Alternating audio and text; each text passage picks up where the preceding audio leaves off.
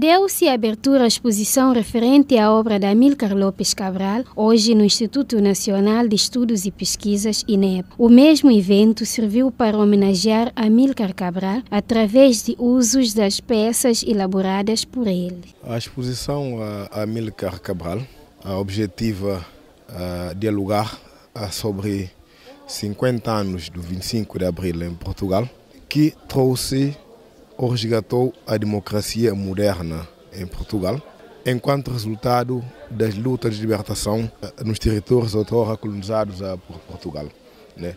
Eh, principalmente as ações de combate na Guiné-Bissau.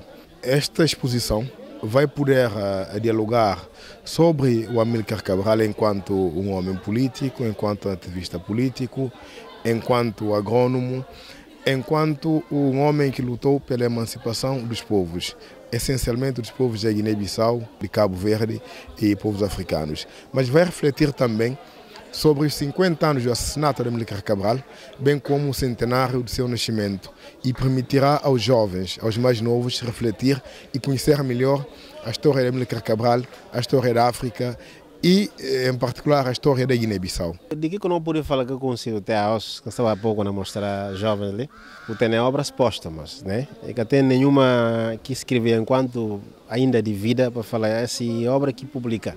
E teve conjuntos, né?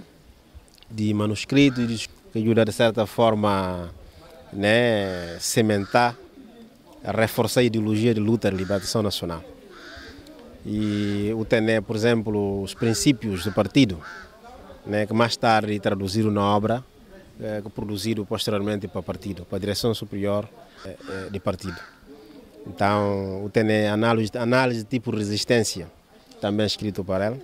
Se não é para baixo, e em torno mais de quase, pouco mais de uma dezena de manuscritos que ao um dia traduziram em algumas obras, né, mais conhecidos, mais lidos sobretudo a arma da teoria que reúne se pensamentos né, político, né, um guião político, mas também intelectual, acadêmico.